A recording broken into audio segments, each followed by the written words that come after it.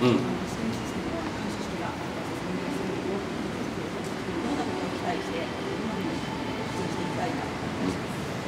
まあ、あのまずは、えー、世界ナンバーワンの、えー、そういうバッテリーがねこの大阪から、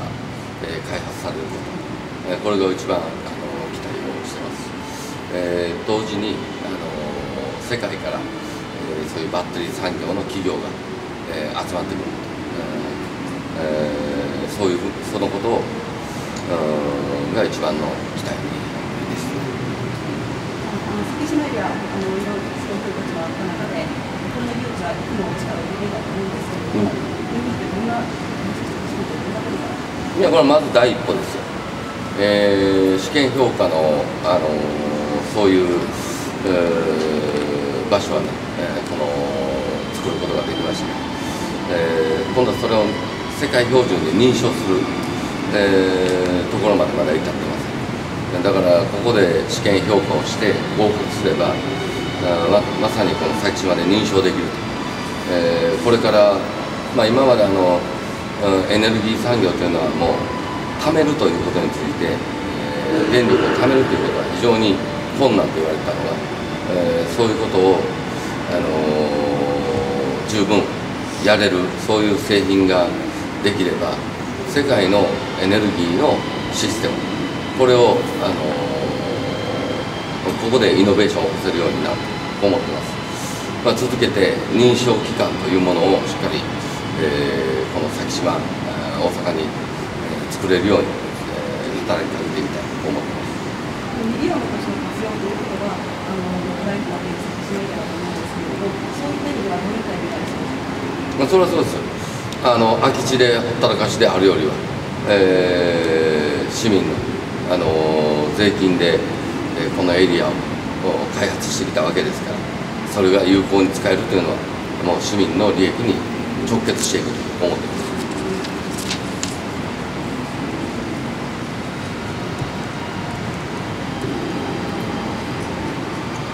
に関してはございませんでしょうか？それでは正門に移ります。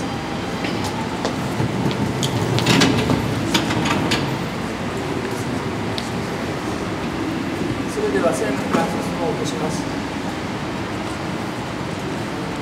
沖縄県でですね、えー、米軍属の男に、えー、があの、まあ、うるま市の女性に待機したと。まあ、それに対してどのように考えいやもうあの将来のあるね、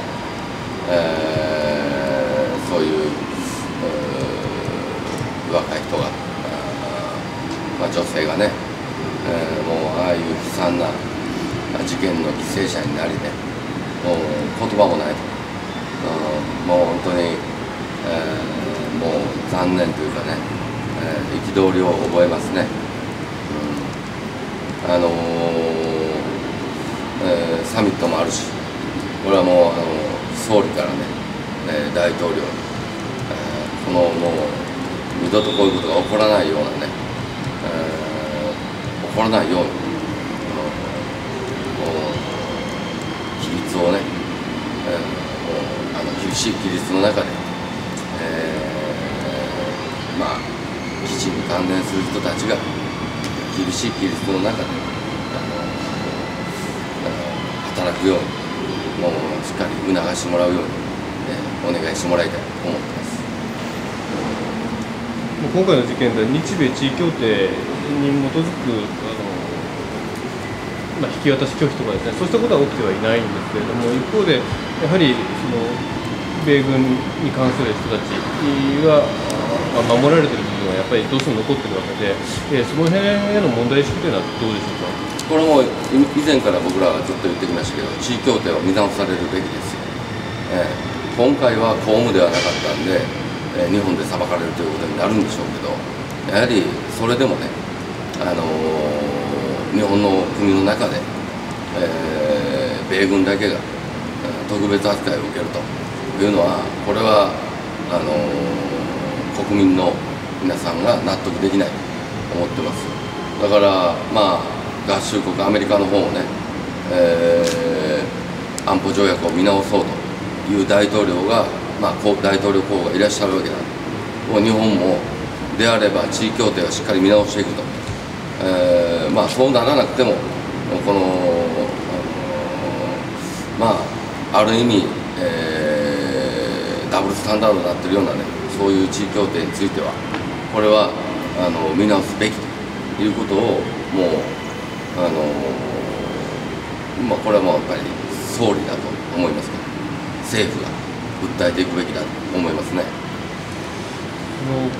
そうした点に関してはですね、あまり自民党では表立った意見というのは出てきてない、あと政府も、まあ、外務省をはじめとして地位協定の改定は必要ないという立場をずっと取ってます。この辺についてはどのように思いますだから僕らが必要なんです。あのー、自民党の中では、もうこの問題については、まあ、ある意味タブー的に消極的ですよ。民進党は全くもう、そもそもが、えー、そういう議論すら今必要ないという立場でしょうから。憲法についても彼らは一切、えー、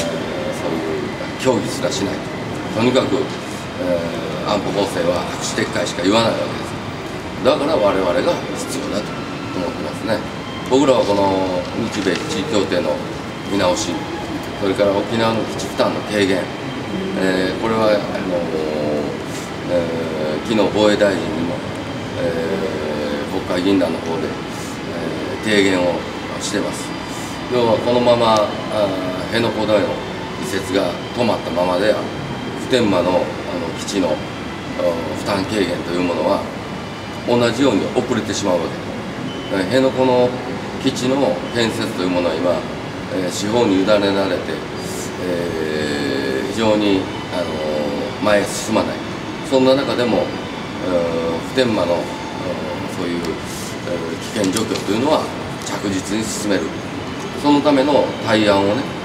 え、いろんな形で、え、我々は模索しながら提案してるんで。これは必ず、えー、政府で実現してもらいたいと思ってます。あの参院選に関してですね公約でそうした点、まあ、特にその岸負担の軽減が、まあ、あるとしても地位協定の見直しについては何か盛り込まれる考えはあるんでしょうか？これは盛り込んでいくし今までも言い続けてきてますから、えー、来週には沖縄県議会議員の、えー、選挙が行われるし、えー、まああの、我が党の政調会長は沖縄出身の下井さんですから、えーまああの、沖縄の皆さんに、まあ、あの日本の安全保障のためにはために沖縄の皆さんに大きな負担を受けていただいているのはこれは事実なんで。この負担軽減を少しでも負担軽減をしていく、えー、ための具体案というものはあの県議会議員選挙でも参議院選挙でも訴えていきたいと思っています。メントの確認ですけども、地域ごとの見直しについて具体的にはだからもう日本で、えー、事件を起こした場合は日本人と同じ、えー、日本の司法によって裁かれるということです。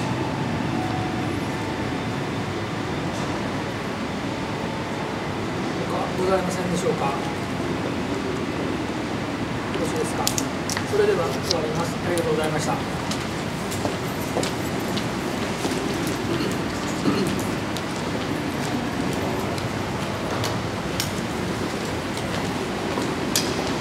それではご案内の通りあの今日3時半からの NW の視察